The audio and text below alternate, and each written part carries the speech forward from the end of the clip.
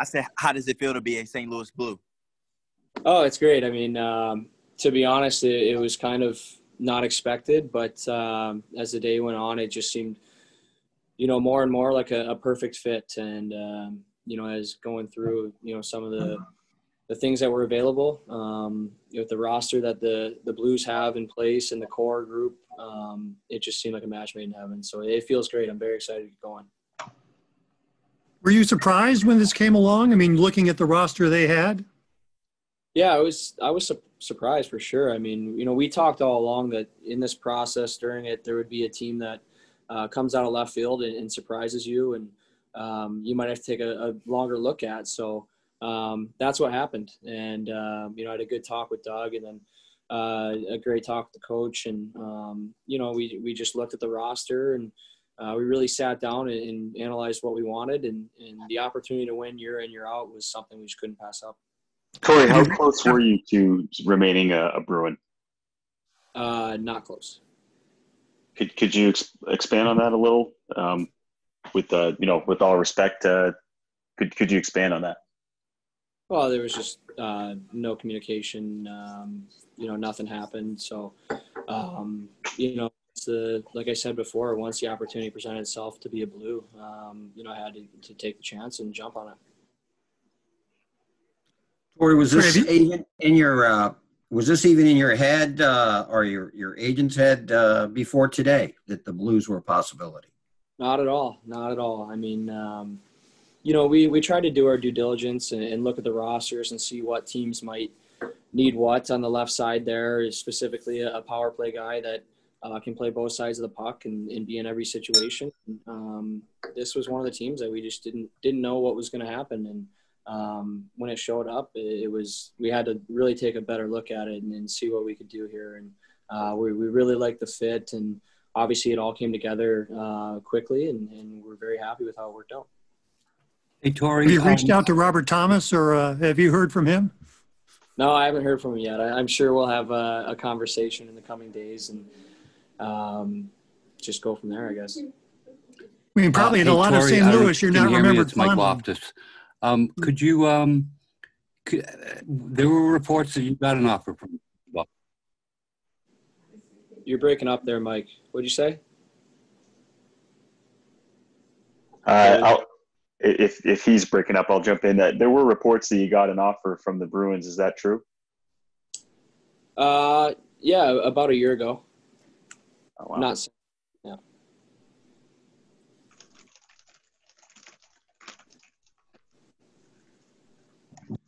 Uh, anything during that Stanley Cup final series that you remember that sticks out where now you look at that as uh, excitement in terms of being part of this team?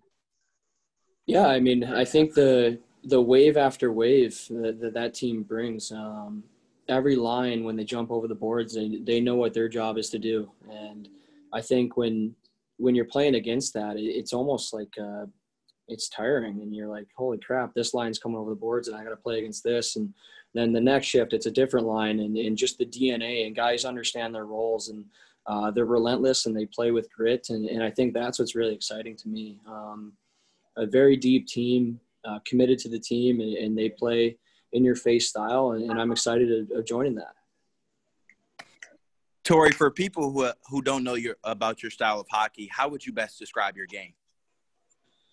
Uh, well, I would hope that they would know my style by now, but um, no, just a, a dynamic defenseman that uh, I think my strengths are, are, breaking the puck out and getting through the neutral zone and, and putting the puck in um, the forwards' hands. You know, those guys get paid to score goals, and I get paid to pass the puck and, and get them in positions to score goals. And and then obviously on the power play, I think uh, it's no secret it's a it's a strength of mine, and uh, I enjoy doing it. I have fun, and I take a lot of pride in, in making sure that our, our team uh, can feed off the energy of a power play. If we're not scoring a goal, we're gaining momentum, and and I really enjoy um, playing a big role in that. So um, that's kind of what I bring to the table. Or you, you'll probably be paired with either uh, Colton Parayko or, or Justin Faulk. Just uh, what do you know about their games, and have you had any contact with them uh, since uh, this deal came together with the Blues? Uh, I've I had a exchange messages with Falker. Um, I actually was his D partner in World Championships a few years back, and so we have some familiarity familiarity there um, with each other. Um, uh, Parayko, I don't know him personally, um, but I understand. You know, I playing against these guys for so long now. Uh, just a bigger body that skates really well, and that kind of lines up with what my pairing was in Boston. You know, I think the world of Brandon Carlo, and he's a, a bigger body that um, takes up a lot of space on the ice, and the ends plays quickly. And um, you know, I enjoy playing with a guy like that. But uh, we'll see what happens here. Um, I had success with Falker playing Worlds um, years back, and I know him well. We have uh, a lot of friends in common, so we get along very well. The chemistry's there, and we'll just see what happens here in the future. Torey, were you aware at all of what was uh, going on with uh, the Blues and Alex Pietrangelo? And did you feel any sort of urgency to get something done in case those two sides circle back with each other? Uh, I wasn't aware. No. Um, you know, for from my own perspective, uh, this is a trying time for myself and my family. So, um, you know, I had to think of us and, and take care of us. And um, like I said, when, when the opportunity presented itself, uh, I had to do what was best for our family. And uh, I moved on it when I, I, had the chance. There wasn't a rush or a sense of urgency, um, just an excitement. And, and overall, I, I, knew where I wanted to be. So uh, very excited that it, it worked out this way. Torey, you mentioned that you and Justin were defense partners. Were you guys on the power play together on the World Championships, and how did that go if you were? Uh, to be honest, I, I don't recall the power play too much. Um, I think when I think about it now, we, we were fixated on uh, Jack Eichel a little bit. I do remember being on the five on three with him. Um, so I think we were out there together. Uh, I think at one point it was me, him, and Seth Jones and two forwards uh, on a five on three, which I thought was a, a unique setup. But um, yeah, just some some good memories. And like I said before, I know I get along with him really well. So uh, that should be a, a, good transition. Torey, Torey, when you when you get up today, um, had you already were you already out of Boston? Uh, no, not at I all. mean, in, in your mind, yeah. No, no, not in my mind. I mean, um, I didn't know what today was going to bring, and, and I was going to welcome anything that that came through the door. I guess ring through the phone, and um, it didn't work out. Um, you know, I was looking forward to having conversation with them. It just didn't happen, and um, but I, am very lucky, and I feel um, like an opportunity to join the Blues was um, just just lucky and and very uh, happy that it worked out. Um, very excited to join this group. Torey, once you got going with the Blues, uh, obviously several teams called a caliber a player of your caliber. Was there anybody else in the mix? Uh, I just don't really want to talk about that, to be honest. You know, once I, I got the opportunity to uh, and and had that conversation with Doug, I, I knew that it was a great situation. And, and looking at that roster, I just couldn't pass it up. So, um, yeah, it, it, was once that phone rang, and um, I just had uh, that tunnel vision. Hey, Torey, can you put into words?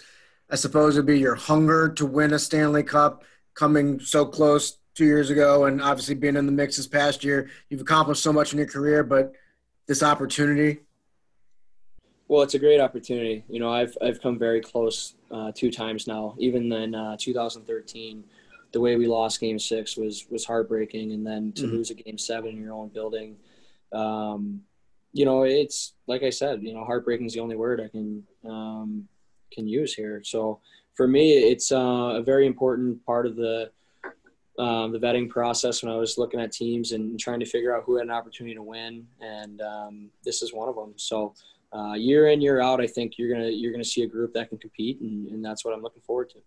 And I don't know if you know Ryan O'Reilly personally, but um, just what you, what do you know about him as a hockey player and as a leader? Well, I think just his commitment to a two-way game, and um, you know, I mentioned before Patrice Bergeron. I I don't think there's a guy in the world I think uh, higher than Patrice, but the way that they play uh, the game, they're just committed to both sides of the puck, and um, you know, for to have a guy, your leader, uh, be a guy that's committed, you know, 200 feet, uh, day in, day out. He shows up, from what I've heard, shows up to practice, leads the way. He's out on the ice after practice doing extra drills. Uh, we've all seen it on social media. Um, to have that guy, that energy just feeds through a room, and, and that's what a, a, good team needs. Torey, can you? Torey, are, are you in, are you physically in Boston right now? Where Oh, are yeah. you? Yeah, Yeah. I'm in Boston. Um, any thoughts on, even though it's not a direct thing, that you're kind of being the guy that replaces Alex Pietrangelo? Is there a challenge in that? Uh, I would, you know, I don't think uh, anyone here is expecting me from rather, especially from the Blues standpoint, uh, to replace an Alex Pietrangelo. Um, I think the world of him as a player, and I don't know him personally, but um, you know, I, I just think we're different people, different players, and uh, I don't think anyone could really come in here and fill the uh, his shoes. But um, I'm excited about the opportunity that I have here. I think I can do things a little bit differently, and uh, I'm going to play to my strengths. I'm not going to worry about what people think about that. Um, there's a reason that uh, the Blues wanted me, and, and there's a reason I came here, and I'm just going to try to do my best to, to you know fulfill my potential. Let's do two more, and I think Kevin, you had your hand up, so go ahead. Torey, can you reflect on your time here? For you know, you started here, you had your years, you had success. How hard is that to to, leave, and how hard is it that it was only a year? It was a year ago that they made that offer, and it, it wasn't up to par. Just just your feelings on all of that. Yeah, it's you know, Kevin, it's very hard. Um, to be honest, I don't have all my my thoughts and feelings, um, you know, ready to respond to a question like that.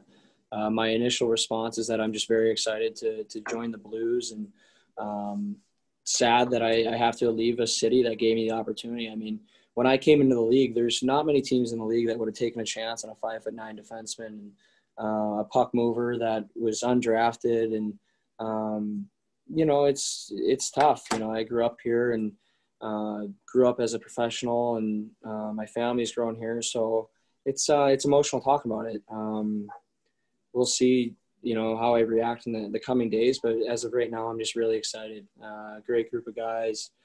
Um, to move on from a city like this, uh, this locker room, I have lifelong friends that you know I'm gonna remain in contact with and, and be very close with. So you know, from that that respect, um, I'm just very thankful for my time in Boston and all the lessons I've learned over the years from that group of leaders and um, even the organization, uh, top to bottom. I, I have nothing but great things. Everybody good? If, Oh, go if. I, if I can follow up on that, if, if you can just, if you can, just reflect on that money piece. They, they, they don't often lose someone here for money, you know. They, they, they kept, uh, they kept, uh, well, everybody, Bergie, they kept uh, Marshy, all of that for it to come down to the dollar thing. Kev, I, I'm not going to comment on you know other guys' money situations and and things like that, but um, it was pulled from me. So I, you know, I didn't have a, an offer, and and when they offered me a year ago and then it's gone, uh, I don't know what I'm expected to do. So um, just being blunt and being honest with you, you know, most people don't share that side of it, but it is what it is, and um, I'm very thankful that uh, for the opportunity they gave me, and then very thankful for the opportunities that that the Blues gave me. And I can't wait to to join this organization and be able to compete for a championship year in year out. The the core here is great, and um, just looking very, you know, I'm looking forward to it.